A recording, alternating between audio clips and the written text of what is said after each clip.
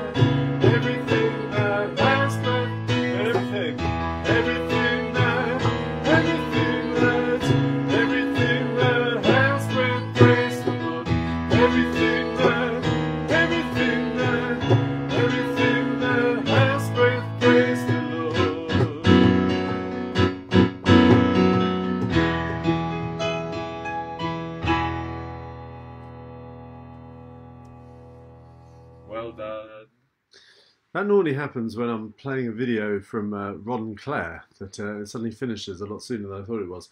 That was a very short song, wasn't it? But hopefully nice and jolly, and I hope you enjoyed that. Sorry that Hannah can't be here uh, this morning.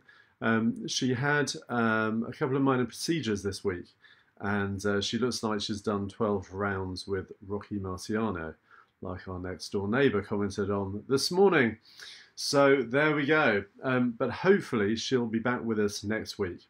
Just advance warning, we've got our Sunday morning service at 10 a.m. again this Sunday.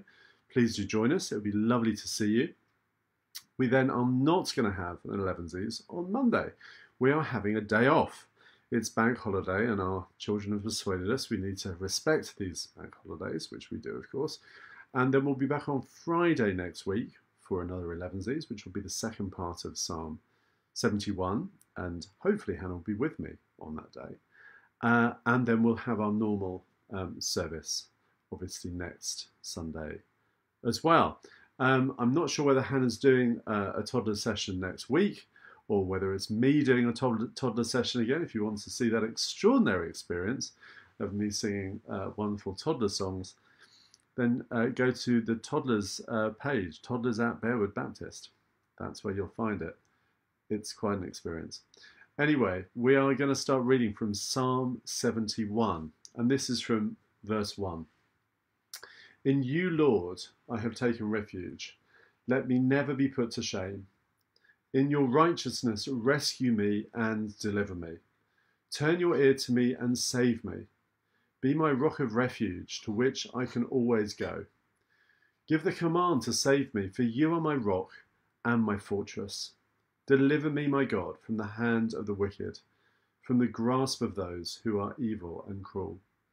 For you have been my hope, sovereign Lord, my confidence since my youth. From birth I have relied on you. You brought me forth from my mother's womb. I will ever praise you. I have become a sign to many. You are my strong refuge. My mouth is filled with your praise, declaring your splendour all day long. Do not cast me away when I am old. Do not forsake me when my strength is gone. For my enemies speak against me. Those who wait to kill me conspire together. They say, God has forsaken him. Pursue him and seize him for no one will rescue him. Now, part of the point of 11s is, is that you bring your drinks with you. It is 11, and 11 is when we traditionally have uh, teas, coffees, or something else. Now, if you've got water, mm, bring some of that instead. Particularly as the weather gets hotter, it's going to be wonderful uh, drinking some nice cool drinks again. So, how many of us have felt cast away during the pandemic? Maybe we were expecting a phone call from a friend, a teacher, a son or daughter, maybe even the pastor or the minister, but nothing came. Maybe we were expecting just a knock on the door, a socially distanced hello from the street. Do not cast me away when I am old. Do not forsake me when my strength is gone, it says in verse 9. You know, our cry could be the same today. I have no idea when my next theatre project might come. I don't know uh, when I'll get time to write music again, hopefully soon. Lord, has everything changed? Is nothing the same? Yet life seems to be starting up again, doesn't it? The world seems to be slowly turning back into what it was before even with a few differences. Certainly, there's more traffic on the road, there's more people about, businesses and the busyness of life seem to be cranking up again. You know, for so many of our young people, life has fundamentally changed. Their schooling has altered. For all of our children, from the youngest to the oldest, things have been strange and different. And from the first lockdown, to the lockdown that happened uh, nearer Christmas, there were fundamental changes in schooling. The government decided to put um, other additional um, requirements for schools in terms of Zoom lessons. and things, especially in our house, became incredibly busy. As sometimes you had four or five children scrabbling around trying to get online together. But much more importantly and fundamentally, the relationships, the way they relate to their peers, has changed. Now, you could argue that technology has changed that significantly and fundamentally anyway, in terms of the use of mobile phones and texts, WhatsApp, their watching of YouTube. A lot of young people use Snapchat and Instagram. It changes the relationship between people. And also, it can be a very cruel place. It can be that actually um, people can say things and do things on text for adults, on email, in Snapchat and Instagram, particularly on Snapchat, where it can just disappear uh, when they don't really mean to be that nasty and cruel, I'm sure. Relationships have suffered, their self esteem has suffered, their mental health and sense of well being has deteriorated. And you put that in the mix with just being teenagers or growing up, or being small children and just trying to relate to the world their thoughts must be, Lord, have you cast us away? Do you not love me any more? Got a picture of a sailing ship here. It's this interesting picture, isn't it? When you look out over the ocean sometimes when I'm back home in Felixstowe and it just stretches on forever. Or do we feel cast away that the Lord has just literally set us adrift? Yet our psalm today is specifically focusing on the older per person. Do not cast me away when I am old. So, do we actually have a best before day as human beings? Are we even worth listening to when we reach a certain age? Isn't it true that we become more of a burden on society and therefore our friends and church and family and the local services? Well, Proverbs 20 29 says this the glory of the young is their strength. The grey hair of experience is the splendour of the old. It's a nice old tree that I've got there. There is, of course, the old adage youth is wasted on the young. You know, that's not always true, is it? But sometimes it, it is. And sometimes I think when we have the experience of life as we get older, uh, we kind of go back and think, wow, if only I'd made a different decision in the hindsight of what I know now. You know, Proverbs 23, verse 22 says this Listen to your father who gave you life, and do not despise your mother when she is old. Older people have been through it. Some, like my parents, Oh, there's a couple of Bettys we know very, very well. One of us just turned 90, I think. Happy birthday again, Betty. Have lived through the last Great War, World War II. They have amazing testimonies and stories to tell of how God has worked in and through their lives. I've heard my parents when they've talked about how they had to escape. Uh, the bombing was sent into the country uh, and what actually happened there. But there's also stories that fill us with hope and inspiration as the country came out of those wartime years, as rationing went on actually for years. And then suddenly immigration started to happen in um, huge, uh, huge quantities of people coming over from various places. And our nation was enriched and helped massively by immigration from India, from Pakistan, and from the West Indies particularly. Later on in our psalm, it says this Even when I am old and grey, do not forsake me, my God, till I declare your power to the next generation, your mighty acts to all who are to come. You know, we've been thinking about George Floyd a little bit this week. I remember speaking to Linda Smikle, a really good friend of ours, and hearing some of her stories about when she first came over to this country. Some of those are pretty shocking. Some of those we would find it very difficult to imagine today. Thank you, Lord, that you brought Linda and so many people over to help this country. And we are so sorry about what happened to so many people when they came over here. These stories can be an inspiration for us, they can berate us, or they can be anchors in our lives.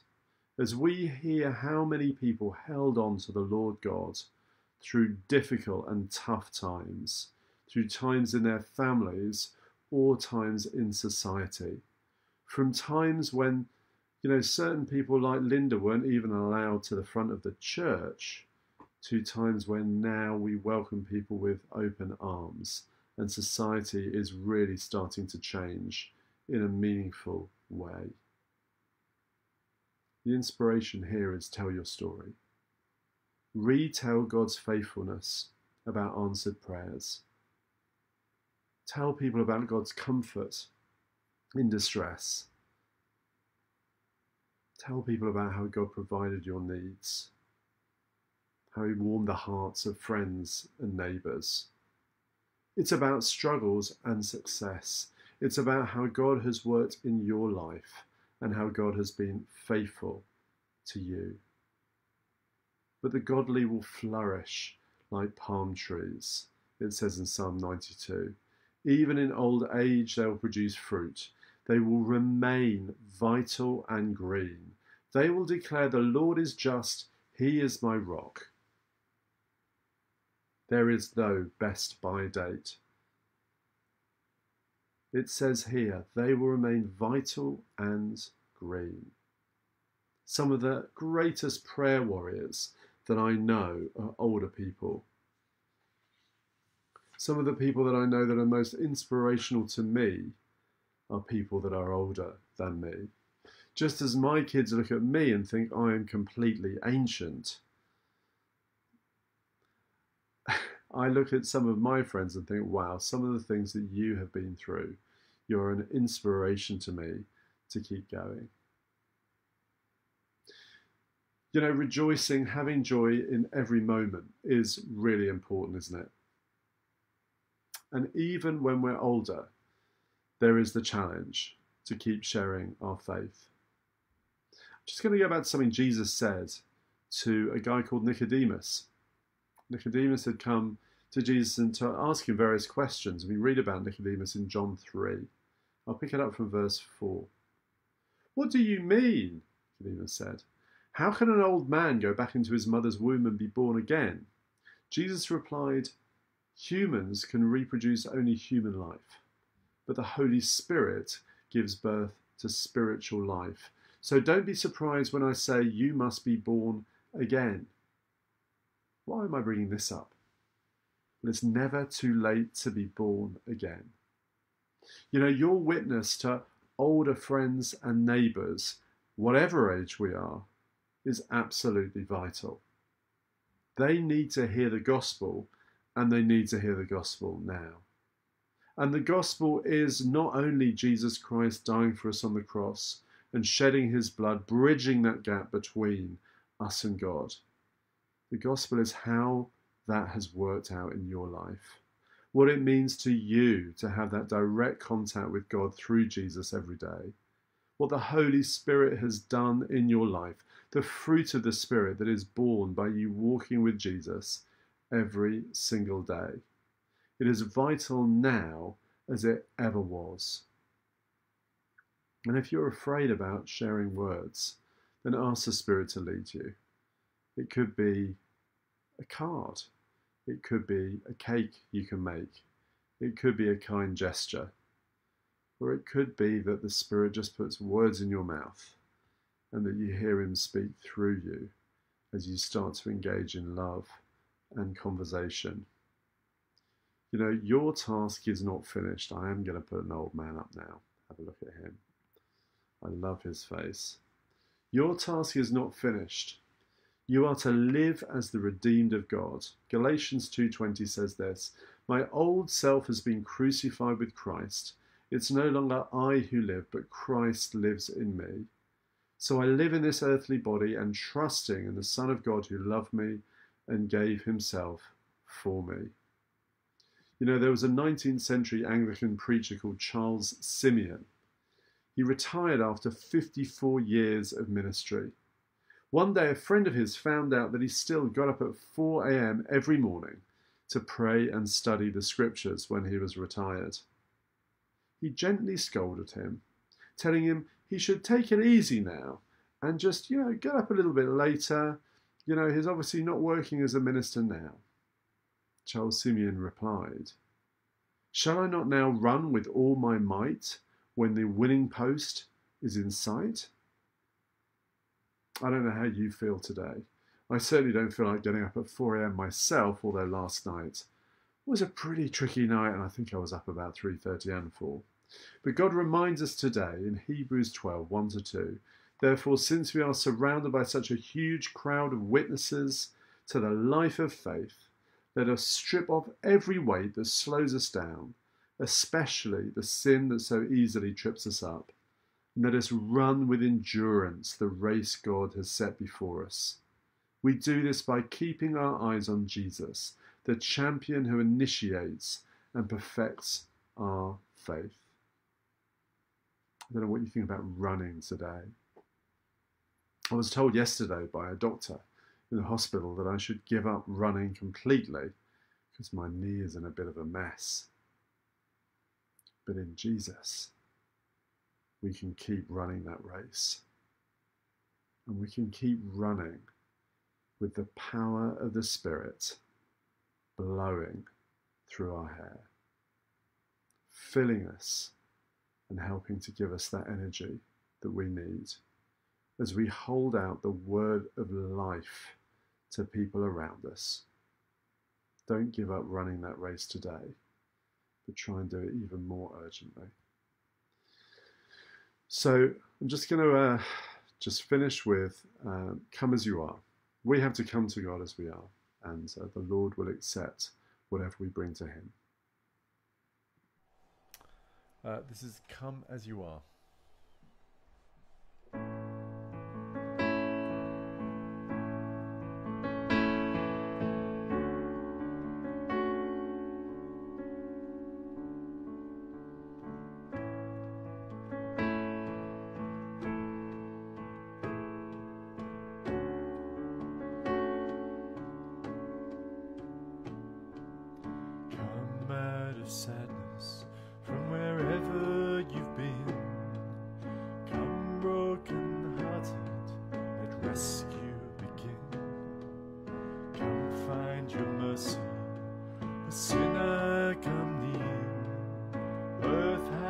sorrow that heaven can heal. Earth has no sorrow.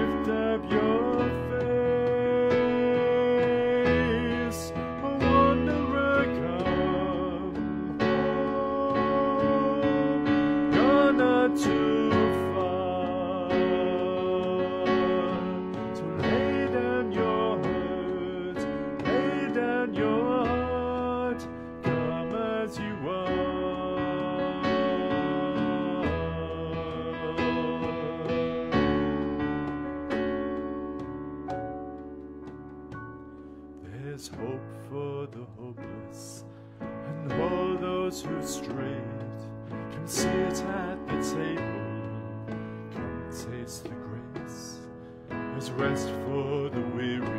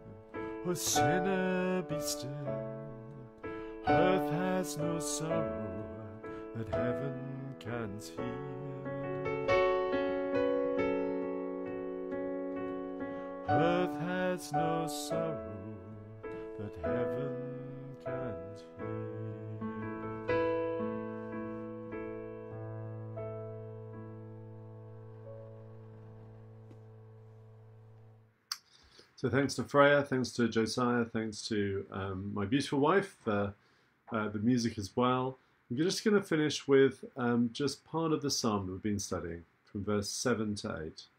You are my strong refuge. My mouth is filled with your praise, declaring your splendour all day long. Let's really try and praise God this weekend, whatever we're doing, in whatever way that we can.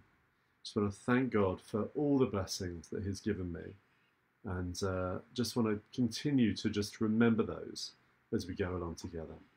Thank you so much for joining us. If you're joining us live, thank you, Morning Naughty, and whoever else I can't see on uh, on the the um, the chat as well. So thank you for joining us. If you're joining us later on, uh, then bless you, and uh, and I really hope you have a lovely weekend too. And we hope to see you back here at 10 a.m.